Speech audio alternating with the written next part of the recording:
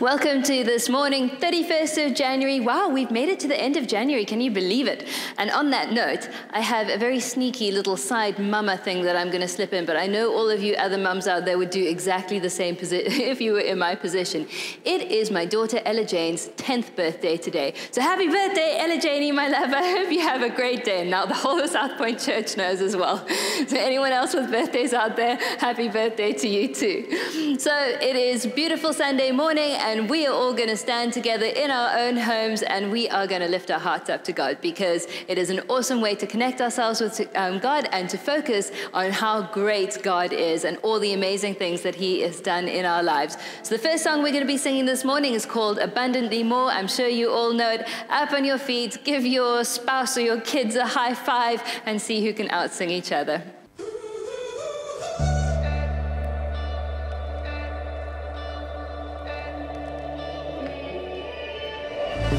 Through the fire, always speaking. Just a word I see all earth shaking. Yes, our God cannot be moved. Yeah.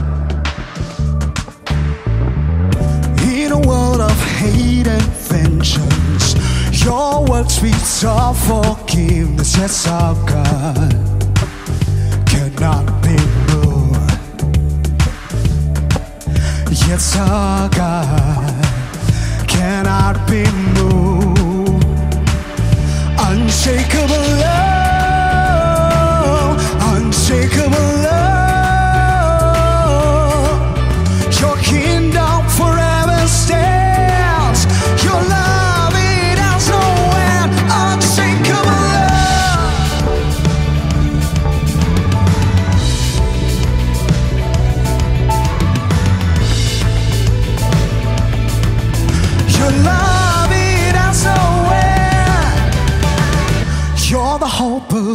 salvation. One breath in the dead awaken. Your God, cannot be moved. Full life is what you offer. It's not found in any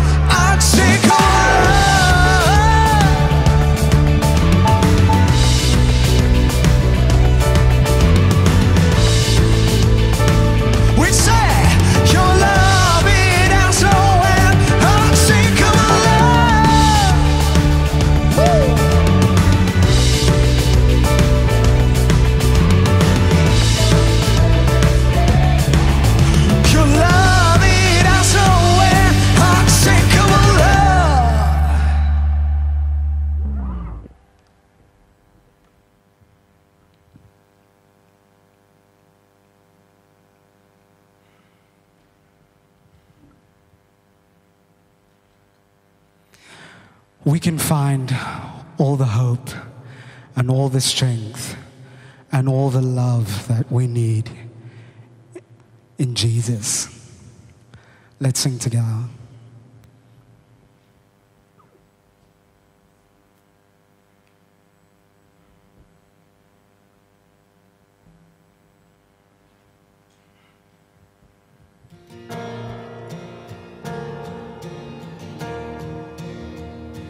There is healing in the power of the Lord Most High.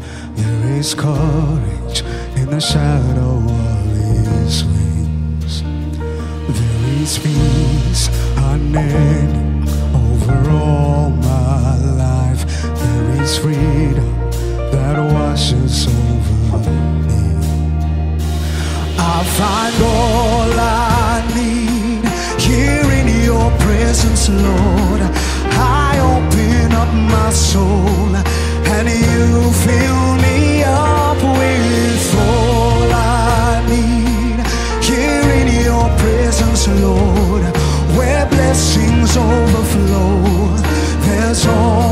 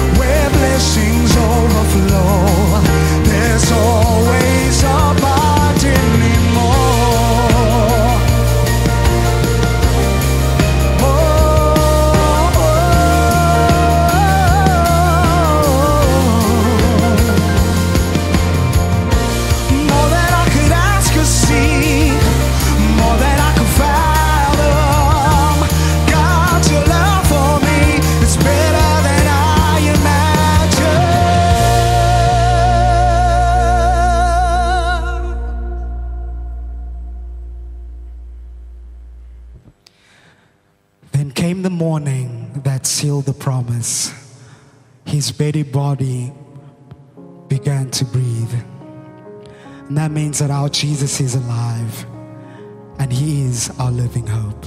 Let's sing.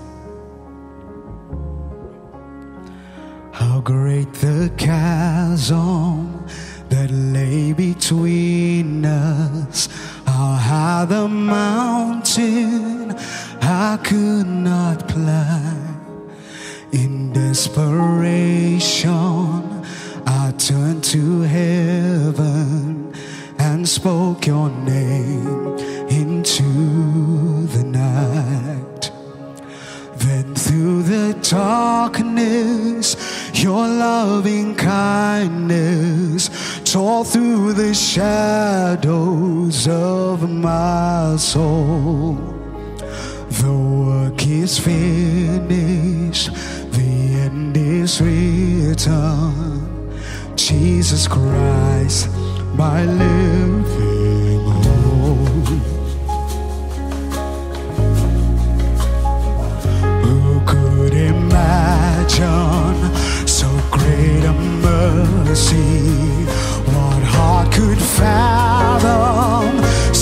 Boundless grace? The God of ages stepped down from glory to wear my sin and bear my shame. The cross has spoken, I am forgiven. The King of Kings calls me Beautiful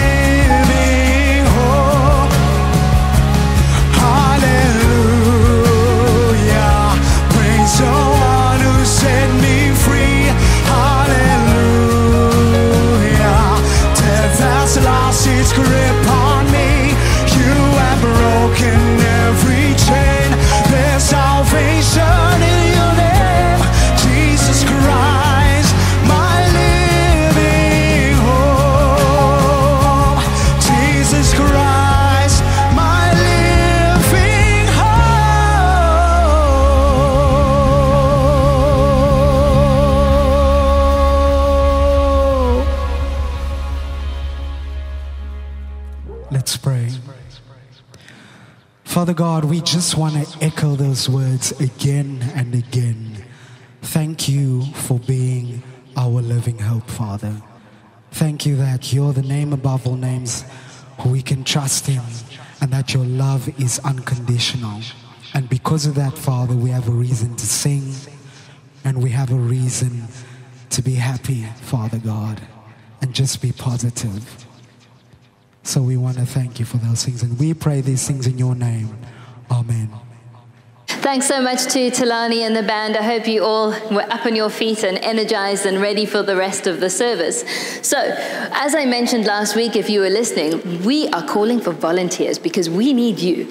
And um, we know that if your heart was beating last week, I'm sure that you popped Chris an email to say, I'm here and um, I would love to volunteer. We have got controlled environments of people who are getting together in small groups to do all the behind the scenes things that um, need to be done to get church online happening. Because although you're not physically here in the building, trust me, there is a lot going on.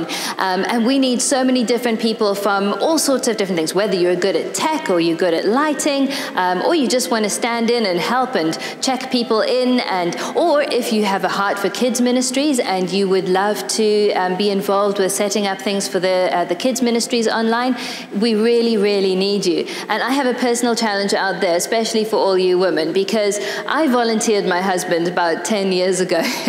and I think he volunteered initially. I put him in the tech for Upstreet. Um, and most of you know who he is because he's always standing outside of Upstreet on a Sunday morning, very often dressed up in crazy, wacky outfits. And um, he needs to be upstaged, okay? There is someone out there who can do a really, really good job. So I put a personal challenge. If you think your husband or your boyfriend or your partner can upstage my husband, I would love to have him volunteer or you to volunteer him, please, on his behalf. I can't wait to see who comes up. So um, volunteer, please. We want to have you involved. No matter where it is that you feel your heart is, we've definitely got a place for you and we're looking for you and we'd really love you to join part of the team. So, we are starting a brand new one parter series today that Chris is going to take us through, and it is called Wild Goose Chase. So, if you have ever wanted something really badly in your life and always having a heart to chase it, especially like in our day and age, we're taught to be grateful. Everyone knows that you've got to be grateful for the things that you have, but your heart still wants what your heart wants. And in this series, um, Chris is going to take us through a path that leads us to what we are actually looking for. So listen up close, and we're going to hand straight over to Chris. Well, hey, Southpoint Church, I just want to say good morning to you guys, and it's good to be here today. It's good to be in front of you, it's good to talk to you. Uh, one of the things about the lockdown and COVID that I do enjoy and that I like is that I get to be in your living room or wherever you are, you're watching this. I, I get to be on your screen, I get to be with you. So we can kind of pretend that this is a bit of um, like an intimate environment. So this week, we're doing a one off message. It's called Wild Goose Chase. And I'm very, very, very excited to bring this to you. I believe that this is something that can, that can change your life. In fact, I believe so deeply in the message that I have to deliver to you today that I believe that if you give it a chance, it 100% has the ability to completely change your life. And so we're going to jump into it right now. The thing that we're talking about, the thing that this message is, is about, this, this wild goose chase message, where I want to start is, is everyone, this is around this concept of everyone wants more. Okay. Everybody wants just a little bit more. And this isn't a bad thing. So let's talk about the good things about this. So, for example, the more that people want has produced some amazing, amazing things. Because people want more, guess what? We put a man on the moon. Because people want more, we've been able to explore the deepest depths of the ocean. Because we want more, we have technology that's pushed us to the outer limits of anything that we could have thought of. I think it's always interesting to speak to a great grandparent who was around when they didn't even have a computer at home. And now we have these, what would have been beyond a supercomputer on our telephone, and it's, it's right here in our pocket. And that, become, that, that comes because people want more like this more, this desire for more, it's, it's driven us to do amazing things as a society. We've come up with vaccines while we're talking about COVID. We've come up with cures for cancer. We've come up with cures for allergy medication. Amen to that. I'm on allergy medication, and the guy or the woman or the team that created what I'm on has brought me life. And it is a good, good thing. So again, it's, it's this more that's driven society and culture to do amazing things. The more also has driven people to become amazing people. You know, I was watching a documentary with Casey and Lefa, and it was about LeBron James. And LeBron James, if you don't know, is a basketball player from the States, and some would say he's the best basketball player in the world. Um, long time ago, he passed Michael Jordan's stats, and I, I know there may be some people out there that will argue about whether he's the best or not. But the documentary was great because it talked about where he came from and how hard he worked. And it was really good for Lefa, my son, to watch that because he got to see that there's this man that's at the pinnacle of a sport, but he didn't start there. The way that he got there is he came out of, out of having nothing and he rose his way up. And he got better and he got better and he got better. And when he became the best center, he, he made himself the best point guard. When he, he became the best point guard, he made himself the best forward. And he just continued to want more. This desire for more made him amazing. You know, we also see it in people like Nelson Mandela. Mandela wanted more. When he sat in his prison cell, and you'll have to forgive me, I don't pretend to be an expert on this, but I've, I've tried and I've tried to learn some. And from what I've learned about Mandela is that when he sat in his prison cell, he made the decision for a better South Africa. And when he got out of prison, he continued to make decisions for a better South Africa. He wanted more, not just for himself, but for this entire country. He wanted more. More has produced amazing things and it's produced amazing people. But that's not always the more that we deal with. And so today we're going to talk about a different kind of more. So we're going to shift gears here. Now, I didn't start you with the positive so that I can drop a bomb on you here, but it's important that you understand that this desire for more doesn't always have to be a bad thing. It can also be a really good thing. But what happens is, is, is our more that we carry every day, it comes from a deep, deep place of unanswered questions. It, it comes from, from a life of dealing with really, really hard things. The more that we deal with every day, it comes from, from unmet expectations. It comes from hurts. It comes from wonderings. It comes from empty space inside us. It comes from hurts. It comes from all these hard things. So we, we deal with all these, these hard things in our life. Like life is hard. Hard things happen in life. That is just the simple truth. My dad used to always say there's two things that you're going to do no matter what. You're going to pay taxes and you're going to die. Like, thanks, dad. I'm 10. You know, you should tell appropriate jokes, dad. you know, the third thing in that I would add is that life is going to hurt. It's going to be good, but it's also going to hurt. And as those hurts and those hard things have begun to pile up and to, to, to kind of like rub up against us in life, we search for more answers. And a lot of times those answers are unobtainable. They become unanswerable or unobtainable things. And because they're unanswerable or unobtainable, they sort of just get pushed into this space inside of us. And we just keep asking, well, is there more? There has to be more. So we want more help with the more problems or the more hard that we feel because we want it to feel less hard. We want it to feel less.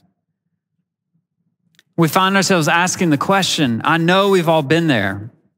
I know that you've been there. Okay, I know you have. I know that that you've been there. I know that you have. Just like just like I've been there. We ask ourselves, is this it? Is is this it for my life? Is this it for my purpose? Is this is this it for my marriage? Is this it? Like, is this all that there is to it? I know I've had a lot of hard nights, hard days. I've had a lot of times in my life where I find myself doing something and I realize, like, oh, this is not what I expected. My life is not meeting the expectations that I thought that it was going to have. And I wonder, like, God, is, is this it? And so I know in my journey, and I know probably in your journey, we go on this quest for more. And so today, what I want to do is I want to bring an answer to the quest for more. I want to help you guys and, and me as we work through this to find an answer to that. So, what, what I'm not going to do is I'm not going to lie to you. I'm not going to give you a false hope. I'm not going to give you this little three point sermon where, you know what, if you do these three things, then it's going to point you in the right direction. Or if you do these five habits, then you're going to take care of, of your, your hurt. Or to be satisfied in your life, you just need to do these four things. You know, our society and our culture is too quick to put us in one of those boxes where we say, you know, hey, if you just do this, it'll take care of, of this. And I'm not going to lead you down that pathway because I don't believe that that is the right pathway to lead you down. I don't believe that that's going to give you the long term solution. I don't believe it's going to give you the long term help that you're looking for. So instead, what I want to do is I want to help you get the right kind of help. I want to help you to get uh, help that actually helps, help that helps for for a long time. I want to put you on a pathway that takes you on a journey that leads you to a healthy place so that no matter what life throws at you, no matter what expectation isn't met, you're going to be able to get through it. You're going to be able to see, and you're going to be able to answer this, this quest for more. I'm also going to show you what you were made for. And towards the end of the sermon, this is my favorite part where I get to show you what you were made for, the more that God made for you. But we'll get there.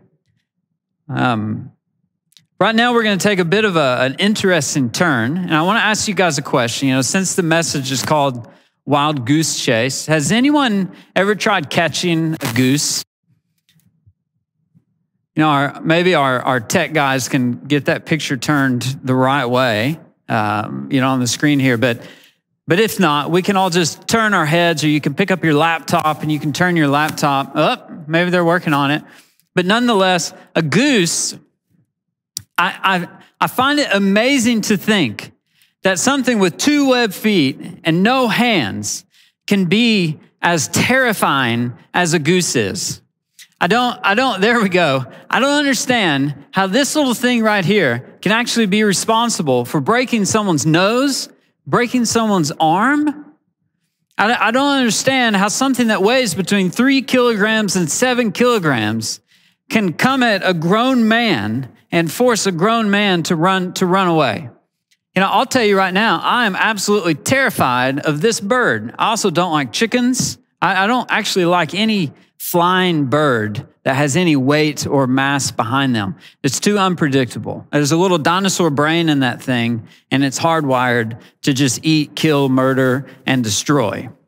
You know, in fact, growing up on our university at school, there was a, it was common knowledge. It had a, a like a goose infestation. And at the university, it was, it was not a surprise to see people standing somewhere and to see them um, like hanging out and all of a sudden to see this goose make a decision that it wants to stand where those people were standing and then it would run at those people and those people would, would run away. And in fact, as I was doing a bit of a Google search on can a goose kill a human, which apparently is a, a frequented Google search, Google came up with all kinds of suggested search, um, like suggested searches. And a lot of those searches were around things like, uh, people putting out PDFs warning people on what to do if a goose attacks you. So, did you know that if a goose attacks you and flies at you, you are to keep your body turned towards it, but pivot at a 90 degree angle to it? I just thought this is crazy. A, a college campus has had to put together a PDF document to tell people how to keep themselves safe from, from a goose. So if you've never had an encounter with a bird like this, then consider yourself lucky. It's like a miniature ostrich. You just don't want to you don't want to deal with it. And this this here in the picture I think is a is a Canadian goose. Um, but speaking of goose and speaking of wild goose chase, the the phrase wild goose chase actually was coined in the 16th century and what it was, I thought this was pretty interesting. What it was is it was actually a racehorse. So what they would do is they would put a, a, lead horse out and, and put it out on the run. And then you would have mounted horses that would go and they would try and chase and catch the lead horse. So the reason that it got the term wild goose chase or goose chase as a game was because when the horses would pursue the lead horse, they would sort of form a V formation, just like geese would when they migrate and they fly in a flying V. Now, if anyone out there is around my age, you can't think of like ducks or the flying V without thinking of the movie Mighty Ducks. And that has nothing to do with this sermon. That's just to put out there for you guys that are thinking it. And it gets it out of my brain. So now I can, I can move on. So that was where the, the, the term goose chase was coined in the 16th century. But then, believe it or not, it was Shakespeare that actually got the credit for using the term wild goose chase figuratively. And he did that in his play Romeo and Juliet, in the original script for Romeo and Juliet. And I tried to look that up and read that so that I could maybe impress you guys with my old English reading and, and read that, that part of the, the play to you, but I, I couldn't understand it. So it makes my heart hurt for any literature majors out there that have to learn how to read really, really old manuscripts and things like that. But Shakespeare does get credit for being the first person to figuratively coin that term. So now today, how, how, do we how do we take the term wild goose chase to mean today?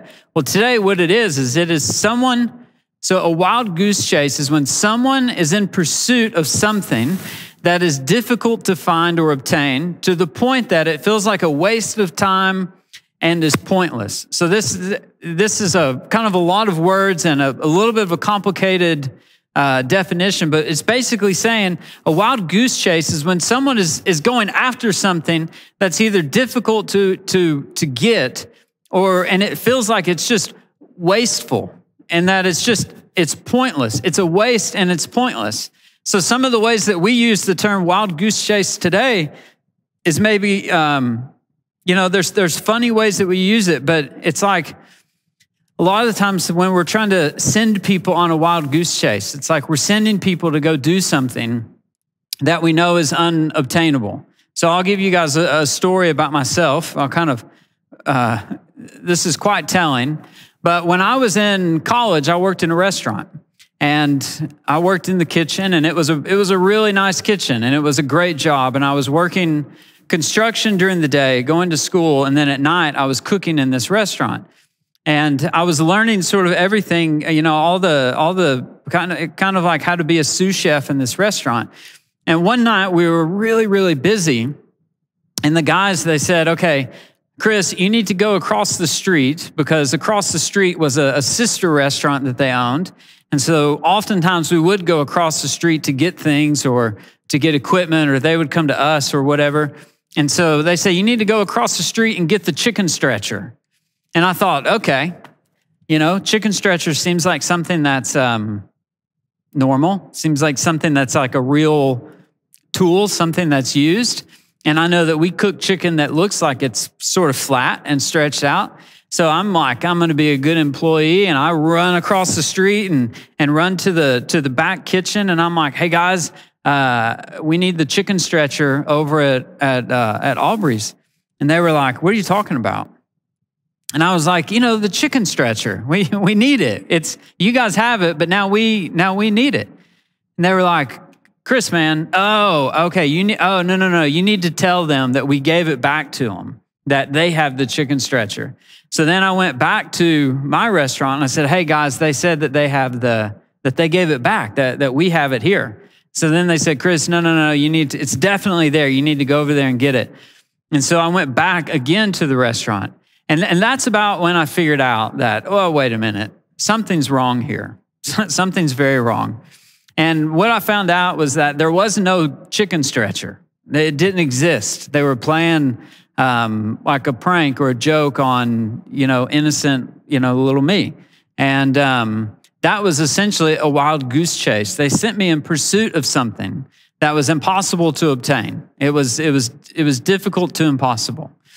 Now, if I'd found a way to come up with a chicken stretcher, that would have really showed them, but it, it didn't exist. So that was that was me going on a, a wild goose chase. And the, the point is, is that is that it's foolish and it's hopeless to search for or pursue something that's unattainable. So why on earth would we search for something that isn't obtainable? Why would we go after something that's not possible? I mean, it's foolish. If you were to go to somebody and say, "Hey, I'm going to pursue something or I'm going to go after something," you know, if you're if you're this tall and you're going to, you know, try out for the the since we're talking about LeBron James for the slam dunk contest, it'd be like, "Man, that's a wild goose chase. That's a waste of your time. That's not good use of your time." So I think we can all agree that it's foolish to go for things that are unobtainable. And then if we take that back to life, I think we could say, like, is life a wild goose chase? Is, is life for us a wild goose chase? So, who here feels like maybe life is a wild goose chase to you? Who feels like life is maybe hopeless or that happiness is unobtainable? Who feels like that they are, their marriage is hopeless, that happiness in their marriage is unobtainable? Who feels like that that their dreams are un- unobtainable? How many of us have let a dream die? How many of us have let our hopes die? How many of us have conceded to this is just what my life is because anything other than this is hopeless, it's unobtainable. So I'm not going to go after it. But you see, it doesn't have to be that way. And those things actually aren't true. So I'm here to tell you today that the things that you think are hopeless and unobtainable for your life, it's not true. The thing that I know to be true is a reality and a promise. The reality is, is that when we are born, we are born separated from God. We're born completely separate from God because we're born into uh, a sin nature. We're born human. We're born um, with sinful hearts. We're born separated from God. God is perfect. We can't come into communion or relationship with God until we make atonement for our sin. And so, what God does is God sees that our relationship with Him is, is actually completely unobtainable. And so, what God does is He makes a way for us. He knows that we need Him because He made us to need Him. He knows that, that we were made to have a relationship with Him. So, He made a way for us to have a relationship with Him. God made a way for us. I mean, we may look at life like it's like it's a wild goose chase.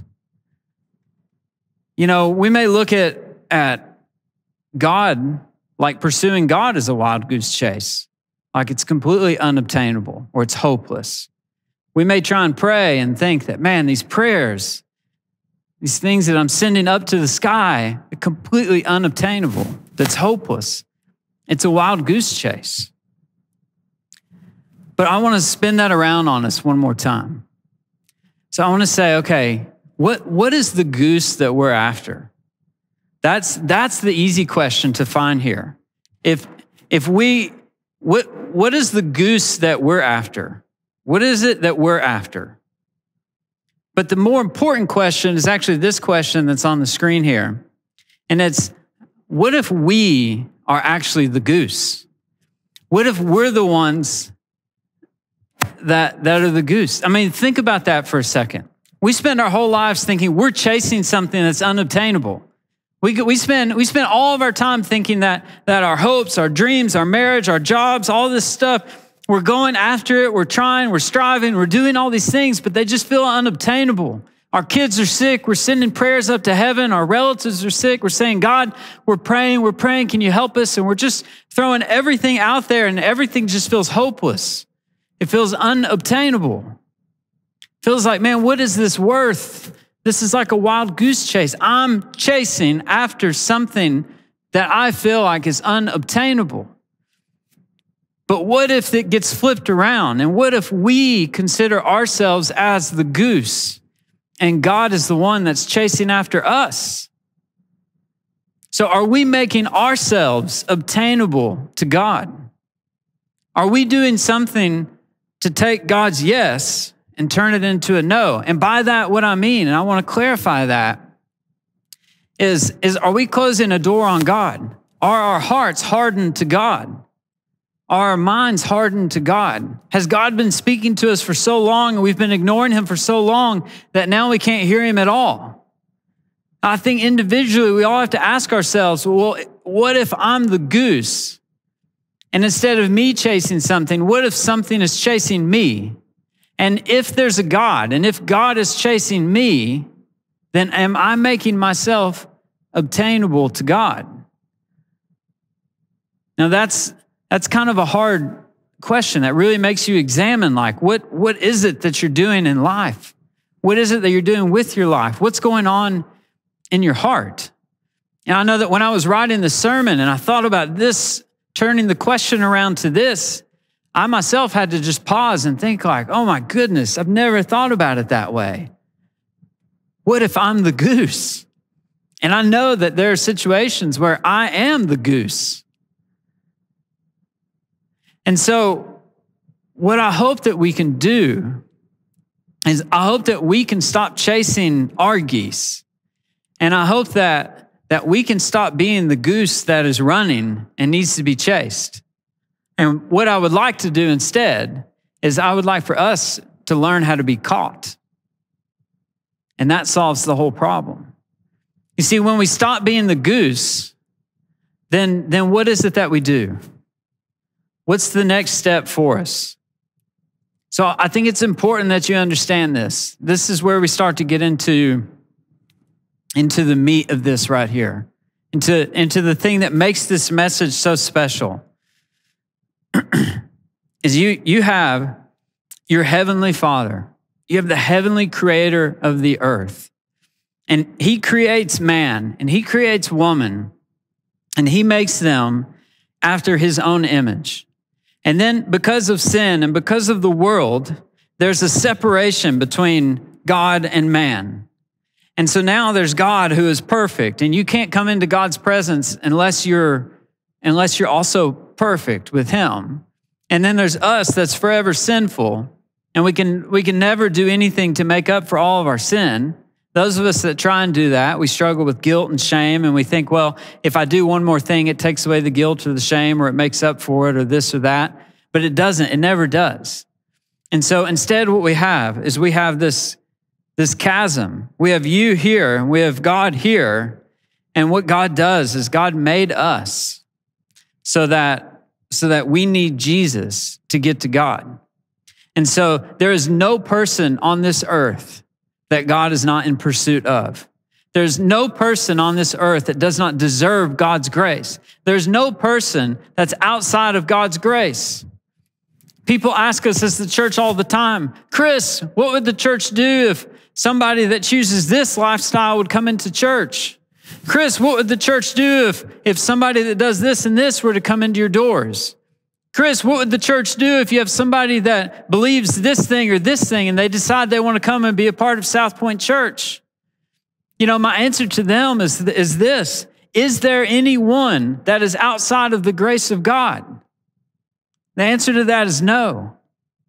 So, what that means is that there is an open invitation for every single human on this earth, on this planet, everyone in jail, everyone in a nursing home, everyone on the streets, everyone in their right mind, everyone out of their mind. The invitation is there for absolutely every single person. God's grace is there for every single person. His pursuit is for every single person.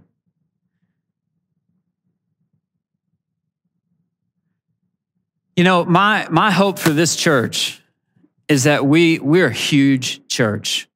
I want to be a big church. And the reason that I want to be a big church is because I don't ever want to stop taking the message of Jesus out. That I feel like every single person on earth deserves to have the opportunity and the option to, to come to Jesus.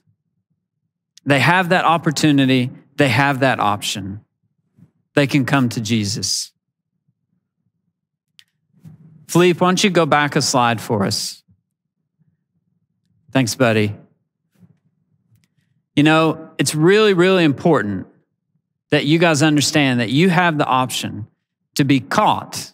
See, there's that word caught by the love and the grace of Jesus.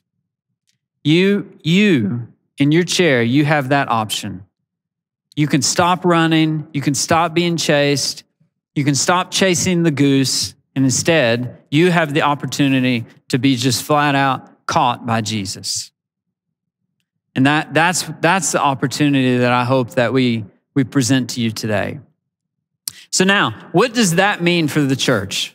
So now we get into this here. What, what exactly does that mean for the church? Well, you know what it means for the church? It means that we have good news to tell. It means that we as the church, we're going to build a place for people to become pursued. So we're going to build a place for people to be pursued into. Maybe God wants to chase all the little geese into the pen, and the church is the pen. We're going to do our best to build the fence that, that allows people to stop and find a place of rest and find water and find food spiritually and, and to find an opportunity to meet with their creator. That's what the purpose of this church is. That's why we're here. We're not here to judge. We're not here to tell somebody they're right or they're wrong. You know, if you're worried about being judged, you can come to Southpoint Church because we're not going to judge you. It doesn't matter what you've done in your life. The thing that matters the most is that we as the church do what Jesus commanded us to do when he sent the disciples out. And he said, Go and make disciples. That's what he asked them to do. And that's basically, we're doing for others what God has done for us. So God reached down to us, the church, and saved us and reconciled our sins. And so we're going to create an environment for every single person in Cape Town and beyond to come into these walls and have an encounter with Jesus Christ. And we are not going to get in the way of what God wants to do in those people. And so now, what does this mean if you're a Christian? So that's what it means if you're the church, but what about Christians? Well, maybe you're a Christian who's discouraged. Maybe you need a reminder. Maybe you need to remember what it was like the day that you gave your life to Jesus. Maybe you find yourself in a place where you don't remember the voice of God. You've not heard the voice of God in so long. Maybe you say, God, I gave my life to Jesus so many years ago, but I haven't felt him. I haven't heard him. My relationship with him isn't very good. I don't even have a relationship with him. You know, can I challenge you to, to take yourself back to that day or that moment Maybe you bent on a knee. Maybe you prayed. Maybe, I don't know how you did it, but you gave your life to Jesus. You know, as a Christian, you're somebody that's handed your life over. Well, guess what? When you do that, God changes you and you don't take it back. That's, that's, that's something you've stepped into a relationship with and it's yours. And then He walks with you forever. And so I want to remind you that you can always go back to that moment where you found God. And then God does this really cool thing and in this really cool thing, what he does is he equips us, he equips Christians with this really neat thing. It's called the Holy Spirit. And we're going to read in Romans 8, 26 and 27. And it says this, and in a similar way, the Holy Spirit takes hold of us in our human frailty to empower us in our weakness. So the Holy Spirit in our frailty empowers us in our weakness. For example, this is, this is where it gets really cool. At times, we don't even know how to pray or know the best things to ask for, but the Holy Spirit rises up within us to within us to super intercede on our behalf, pleading to God with emotional sighs too deep for words. Verse 27 God, the searcher of the heart, knows fully our longings, yet he also understands the desires of the Spirit because the Holy Spirit passionately pleads before God for us, his holy ones in perfect harmony for God's plan and our destiny. What does all of that mean? What that means is that God sends us a helper. That when we don't know what to pray, the Holy Spirit prays for us. When we don't know what to say, when we don't understand, when we don't know how to express where we are, when we're hurt, when we're lost, when we've lost our way, when we're chasing geese, we can come to God. We can come before God. We can get on our knees. We can sit on our bed, the floor, wherever you are, in the car, and, and all you don't even have to know what to pray. God makes it so simple for us. You don't even have to know what to pray. You just sit there. And the Holy Spirit, this thing that God gives us, it intercedes from within and it sits before the throne room of God and it, it talks to God for you. Do you see this? It's like cheat codes for life. You don't, you don't, God, God makes it so simple for us. As Christians, He makes it so simple. He gives us this gift, the Holy Spirit, and it goes before us. It goes before the throne room of God. Next time you're in a crisis, next time you find yourself in a low, Next time you find yourself just laying on the ground, who's had an emotional or, or whatever breakdown where you just laid on the ground? I have in a couple places bathroom, living room, carpet, tile. I'm a personal fan of carpet over tile or hardwood, but I've been on all of them. And in all of those moments, I try and remind myself, and when I can't, my wife reminds me of this, that in those moments when I don't know what to pray, when everything feels impossible, that I've got the Holy Spirit that goes and sits before God and actually petitions to God for me. It's amazing. And Jesus, he goes on in the New Testament, and we'll go to John 14 here he goes on and, and Jesus tells the disciples about this. So this is where Jesus introduces this concept to the disciples. So Jesus has, has died on the cross and then he's risen and his disciples are around him and he's about to go back up into heaven. And they're like, Jesus, man, why don't you stay? Why don't you hang out with us? And Jesus is like, no, man, I got to go. Like my time here is done. And they're like, but we need you. And so Jesus says this, and I will ask the Father, and he will give you another helper, helper. He will give you another helper to be with you forever, even the Spirit of truth, whom the world cannot receive because it neither sees him nor knows him. You know him. This is the helper. You know him, the Holy Spirit, the helper, for he dwells with you and will be in you. So, this thing, that's the Holy Spirit. God says, stop chasing geese, get caught. And Christians, you're caught. Church, we're building an environment where people get caught. And when you get caught, God gives you this gift that sits within. If you think about putting a tea bag in water, that tea infuses in with the water. You can't pull the tea out of the water. You can pull the bag out, but you can't separate the tea from the water. It's infused. When, when we come to God, He infuses inside of us the Holy Spirit. And then that Holy Spirit that Jesus here says dwells with you and will be in you. That's the same Holy Spirit that goes from within you from within your darkest hurts, your darkest secrets, your darkest aches, your darkest pains, those dark moments where you don't know what to say, what to pray, what to do, everything's closing around around you. That's from within that moment. The Holy Spirit says, I got you. And it goes to God and it takes everything that you feel that you can't express. And the Bible actually uses the word groans. That means it's not a, it's not an audible language. It groans before the altar of God, before the throne of God on my behalf. Absolutely amazing.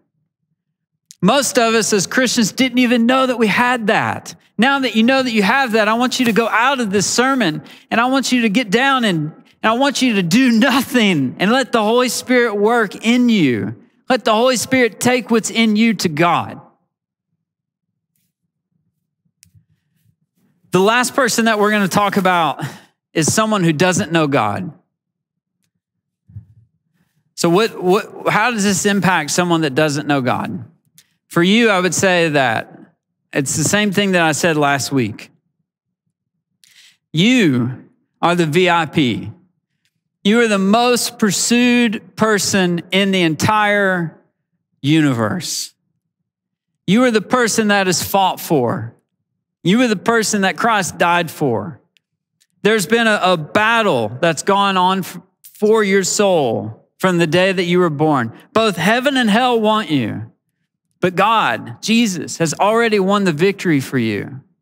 You see, God, He designed you to need Him. He designed you to want more.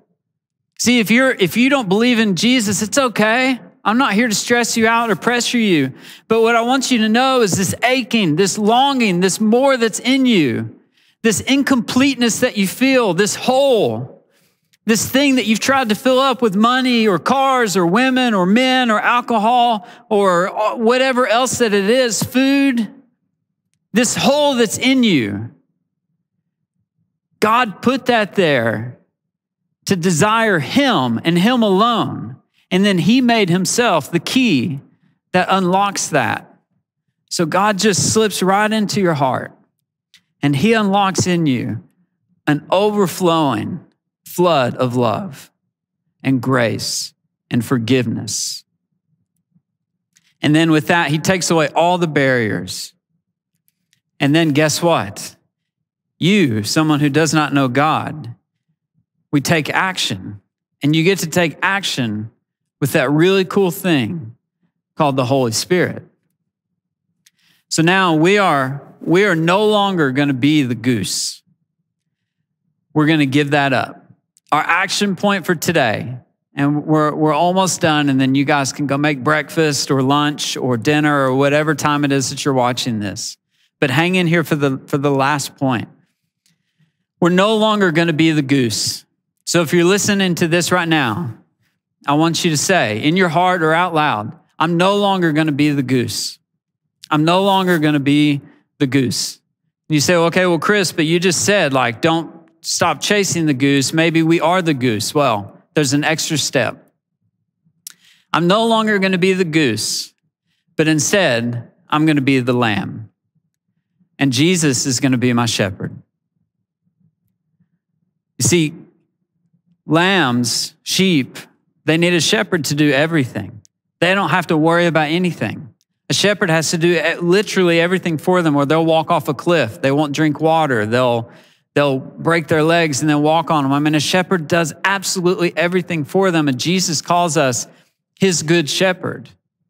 He, he calls us his, his uh, sorry, Jesus calls, he says that he is our good shepherd, that we are his flock. So let's stop being geese. And instead, let's, let's become the lamb and let's accept the love from the shepherd that he has for us. So we're going to make some declarations and some commitments here. And we're going to make three of them one for the church, one for, for those of us that, that know Jesus, and one for us, those of us that don't know Jesus. And so, as a church, we're going to declare that, hey, we are going to take action and we are going to be a church that facilitates an environment where our greatest passion and our greatest care, the thing that we want more than anything else, no matter what's going on behind the scenes, no matter how good or bad something is or isn't, it doesn't matter. We as the church are making a declaration of faith right now to say that our number one priority is that we create a place where people can stop being geese and become the lamb, where they can get to know their good shepherd. That's what we are as a church. I, as pastor of this church, declare that Southpoint Church is the most excited about bringing Jesus to everyone else. Now, the Christian, those of you out there that, that have given your life to Jesus, I want you to declare over your life, hey, I'm going to come back to Jesus. If I've, if I've gone away from him, I'm going to come back. I'm going to look at my life and I'm going to say, am I making myself unobtainable? Am I making myself impossible to catch? I'm going to remind myself of God's love for me. I'm going to remind myself of that moment when I gave my life to Jesus. And then I'm going to take advantage of that Holy Spirit that God puts in me, that helper, that good, good helper. And I'm going to let it go before the throne room of God on my behalf. Now, for those of you out there that don't know Jesus, this is our last group here of declarations. I want to give you an opportunity to declare over your life that Jesus is your Lord and Savior. I want you to have an opportunity to say, you know what? I like this. I like this idea that I don't have to carry around guilt and shame. I like this idea that I don't have to carry around uh, a lack of self worth. I like this idea that I don't have to chase after this idea of, is this all that my life is? I like this idea that I get the Holy Spirit. I like this idea that Jesus died for me. I like this idea of listening to this void that I have and realizing that the things I'm trying to fill my heart with don't actually fill it. And maybe the thing that fills my heart the most is the thing that I've never turned to. I want to give you the opportunity that if you feel your heartbeat now, if you feel God tugging on your heart now, and man, I pray God tugs on your heart. And if He does, I want you to know it's coming from Him, not from me but from Him. And if He's tugging on your heart, then I want you to pray and I want you to give your life to Jesus. And it's simple. You close your eyes and you say, Lord Jesus, I give my life to you. Be my Lord and Savior. Forgive me my sins. Come into my heart and take my life. I surrender it to you. And when you do that, you take a step towards your heavenly creator, a step that you never go back from. When that happens, all of heaven breaks open in joy and celebration for you because you stopped being a goose and you let yourself be a lamb. And there's a good shepherd who wants nothing more than to lead and shepherd you. So, like we end every message, I want to end this message. Where do we find Jesus in this message? Just in case someone's missed it. Where do we find Jesus in this? Where, where is Jesus in this? Jesus is everywhere in this. Jesus is the one that, that is the reason why we don't have to be on a wild goose chase. He's the one and the reason why we can come to God. Jesus is the one that pursued us. Jesus is the one that gave us the Holy Spirit. Jesus is the one that called us to go out and build the church. I hope that you can see that Jesus is the one that has orchestrated along every step of the way for all of mankind and all of humanity. Jesus has orchestrated every single step for there to be a place and a stop for you to have an encounter with Him. That's where Jesus is in this. Now, where do we find us in this? Well, that's something that you have to ask yourself individually. Wherever you are, wherever you're listening to this, whether you're part of a church, not part of a church, a Christian or a non Christian, whether you have fallen away or come back or backslid or front slid, side slid, whatever the Christian term is that you're calling yourself now, I want you to find, ask yourself, where am I in this? Am I, am I accepting Jesus as the first time? Am I coming back to Him? Am I helping to build the church to be a place for everyone to come to it? You know, where I hope that we find the most amount of people in this, I hope that we have a ton of people that through this message, they find themselves in a place of saying, you know where I am in this? I'm the one that accepted Jesus for the first time. That's what I hope. And so, what are we going to do as a church and as people for 2021? 2020 was a rough year, and 2021 maybe has also been a bit of a bit of a rough start for people. It's something that we didn't think that it was going to be this way. We thought COVID would be done. Well, you know what? 2021 is not going to be the year of, of being on a wild goose chase. This is the year that we get caught. This is the year that we become the lamb. This is the year that we let God become our shepherd as a church and as people. This, is this is our year. This is a year that we're going to do that. Now, I'm going to pray for us and we're going to end. But before I pray, I want to make this announcement to you. If you gave your life to Jesus, now I, I don't know how this works online. This is, uh, you know, I thought to myself, are, you know, do we do this online? Do we do a, a call to salvation online? And then I thought, you know what? If Jesus comes back or someone gets in a car wreck or something happens, do I want to do I want to have missed an opportunity to present the most freeing, wonderful gift in all of eternity? No, I don't want to miss it. So we'll figure it out. We'll figure out how to make it work. If you gave your life to Jesus, if, if, if you prayed the prayer and said, Jesus, be my Lord, be my Savior, and it was your first time doing that, then I want you to do something really simple. I want you to email, I want you to email me, and maybe we can get our editors to put my email on the screen when you guys watch this, but it's it's chris.ladd at southpointchurch.co.za. Email me, and I will partner you with somebody that will walk a road with you to make sure that you understand salvation and that you're being discipled, you're being taken care of, and they'll do the journey with you.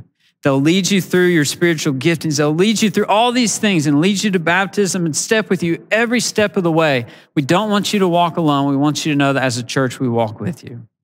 So I'm going to pray, and I thank you guys for this morning. Lord Jesus, I just pray over every, every ear that heard this message.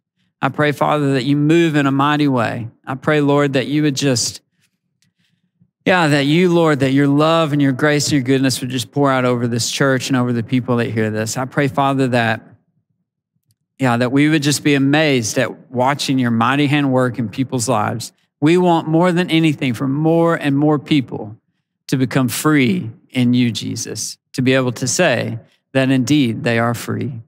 Jesus, we pray this in your name. Amen. Thank you guys and have a great day. So that brings us to the end of January. We will see you in February. It's been so awesome having you all here this morning. So glad that you have joined us. We hope you all have an absolutely fantastic Sunday further. Love you all lots. See you. Bye.